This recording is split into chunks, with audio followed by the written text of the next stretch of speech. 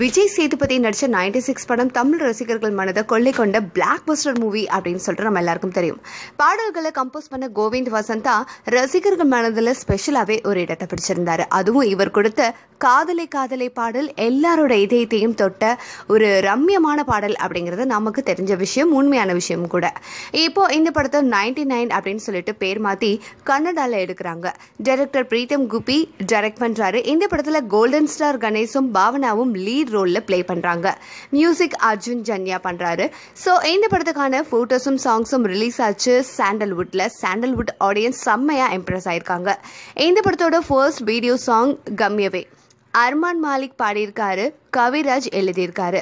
இது நைன்டி சிக்ஸில் ராமோட லைஃப் பற்றின இன்ட்ரோ பாடல் மாதிரி சேம் கன்னடாவில் ட்ராவல் ஃபோட்டோகிராஃபரோட லைஃப் பற்றின பாடலாக இன்ட்ரோவாக கொடுத்துருக்காங்க. இந்த பாட்டோட விஷுவல் பிரீசியாகவும் ஸ்னோயி பிளேஸ்லையும் இருக்கு. But ninety six Ram life பாட்டோட கம்பேர் பண்ணும்போது இந்த நைன்டி நைன் கன்னட பாட்டில் ஏதோ கொஞ்சம் மிஸ்ஸிங் ஸோ அந்த வகையில் ஃபேன்ஸ் எல்லாரும் கொஞ்சம் டிசப்பாயின்மெண்ட் ஆயிருக்காங்க.